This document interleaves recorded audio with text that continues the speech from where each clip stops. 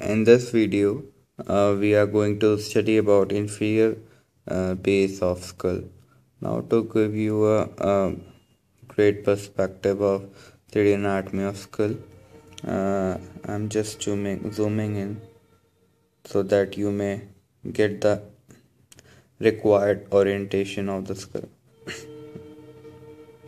These are colored skull bones.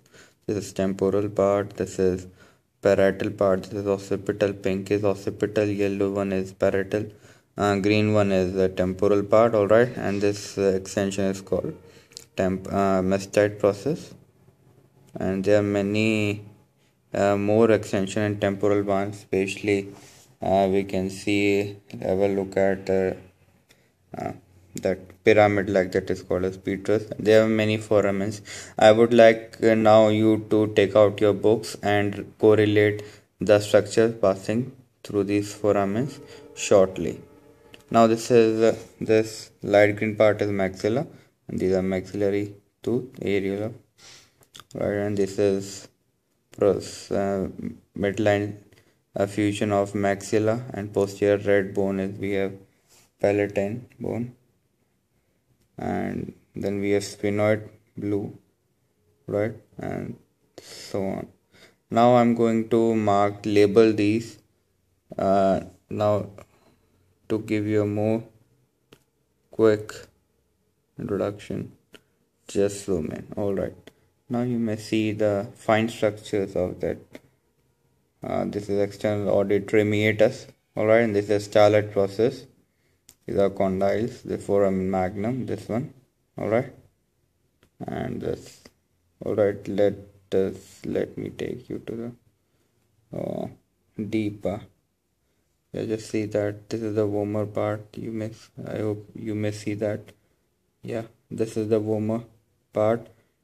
And right uh, trying to form the part of nasal cavity. Now this is nasal concha pyramid inferior this is uh, perpendicular ethmoid plate and vomer part are fusing to form the uh, partition of nasal cavity. This is orbit. Now we have to actually concentrate on uh, inferior base of the uh, uh inferior part of the skull. Now let us uh, add colors and then start I hope that you have taken out your books and now we will correlate with respective parts. Now, uh, this is, you may see that this is a maxilla incisor foramen. Alright, I will just take out the name and this is median palatine suture. Alright, this is palatine bone and this is palatine foramen here we have vomer part as we have already seen. Now this is which foramen this is foramen ovale all right? And this is above it. We have sphenoid bone pterygoid process little bit from where we have much origination of uh, various muscles. Just learn them. And this is sphenoid bone pterygoid medial plate all right? Mm, and this is we have pharyngeal tubercle from where the pharyngeal uh, muscles from the midriff and this is temporal bone petrous pars as all we have already discussed. Now this is uh, temporal bone carotid gland from where internal carotid artery passes.